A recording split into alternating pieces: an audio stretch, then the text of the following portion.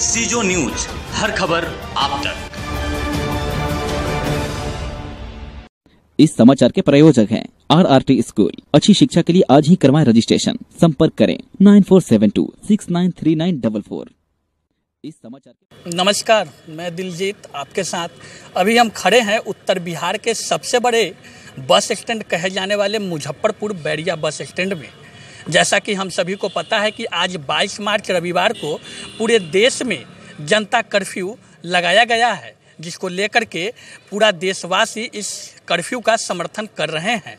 अभी जो हम नज़ारे आपके सामने दिखला रहे हैं, वो बैरिया बस स्टैंड की है, जहाँ आप देख सकते हैं कि जनता कर्फ्यू लगने के कारण बसों का परिचालन पूरी तरह से ठप हुआ है और बैरिया बस स्टैंड में यात्रियों का कोई भी कहीं से आने जाने की व्यवस्था नहीं दिख रही है। बैरिया बस स्टैंड की यह नज़ारा आपके सामने जो हम दिखला रहे हैं, ये यहाँ पे आप देख सकते हैं कि किस प्रकार से बसों का ठहराव बैरिया बस स्टैंड पड़ाव में हुई है।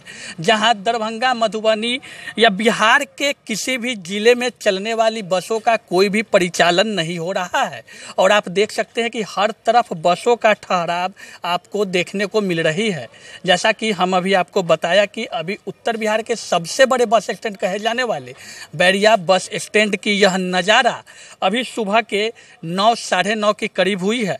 और आपको बता दें कि प्रधानमंत्री नरेंद्र मोदी द्वारा बीते 19 मार्च को कोरोना वायरस को लेकर के पूरे देश में जनता कर्फ्यू लगाने का आग्रह निवेदन किया गया था, जिसको लेकर आज पूरे देश में भारत के नागरिक इस जनता कर्फ्यू का समर्थन कर रहे हैं। बैरिया बस स्टैंड पड़ाव के बाद अभी हम खड़े हैं मुजफ्फरपुर शहर के बैरिया गोलम्बर चौक पे, जो बैरिया गोलंबर चौक शहर के विभिन्न प्रमुख चौक चौराहे को जोड़ती है और यहाँ का नज़ारा आप हम हम आपके सामने दिखला रहे हैं। चौरतरफा बैरिया गोलंबर पे बंद का नज़ारा देखने को मिल रही है। जनता कर्फ्यू को लेकर अब यहाँ के बैरिया गोलंबर चौक के जो भी प्रतिष्ठान हैं, वहाँ के व्यवसायियों ने अपनी अपनी प्रतिष्ठानों को बंद कर घरों में रहना निर्णय लिया है। आप देख सकते हैं कि बैरिया गोलंबर चौक पे अनेकों दर्जनों ऐसी दुकानें आपके सामने हम दिखला रहे हैं, जो पूर्ण रूप से बंद पड़ी हुई है। और यहाँ के व्यवसायी लोग अपने अपनी प्रतिष्ठान को बंद करके जनता कर्फ्यू को समर्थन देते नज़र आ रहे हैं। बैरिया गोलम्बर चौक के बाद अभी हम पहुँच चुके हैं चांदनी चौक एन एच अट्ठाईस पे, जहाँ आप देख सकते हैं कि जनता कर्फ्यू को लेकर के बंदी का जैसा नज़ारा आपके सामने दिख रही है। सड़क के दोनों ओर सड़कों पे ट्रक की लंबी कतार देखने को मिल रही है और जनता कर्फ्यू को लेकर ट्रक चालक भी अपने अपने ट्रक को एन एच के दोनों तरफ़ ट्रक को लगा करके इसका समर्थन करते दिख रहे हैं। ट्रक चालक ट्रक में ही अंदर बैठकर ट्रकों का परिचालन बंद किए हुए हैं। चांदनी चौक से होते हुए अभी हम पहुँचे हैं। मुजफ्फरपुर शहर के ही कांटी क्षेत्र के सुधा डेयरी के पास जो एन एच अट्ठाईस और एन एच संतावन को जोड़ने वाली यह चौराहा, जहाँ पे आप देख सकते हैं कि पूर्ण रूप से ये कर्फ्यू, जनता कर्फ्यू के कारण पूर्ण रूप से सड़कों पे गाड़ियों का परिचालन पूर्ण रूप से बंद दिख रहा है।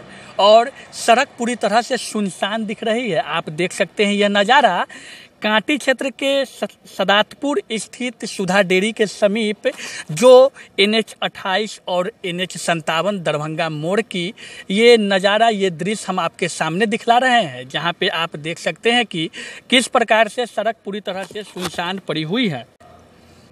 जनता कर्फ्यू को लेकर आज 22 मार्च रविवार को सुबह सात बजे से रात्रि नौ बजे तक प्रधानमंत्री जी द्वारा किए गए आग्रह को पालन करते हुए सीजो न्यूज़ परिवार आप तमाम नागरिकों से आग्रह करता है कि इस जनता कर्फ्यू का पालन अवश्य करें और अपने अपने घरों में ही रहे। आइए कोरोना वायरस के विरुद्ध लड़ाई हम एकजुट होकर लड़े। सीजो न्यूज़ आप तमाम नागरिकों से यह अपील करता है कि 22 मार्च रविवार को सुबह सात बजे से रात्रि रात्रि नौ बजे तक अपने अपने घरों में रहकर कोरोना वायरस के विरुद्ध लड़ाई को एकजुट होकर लड़े। मैं दिलजीत गुप्ता, संवाददाता, सीजो न्यूज़, मुजफ्फरपुर।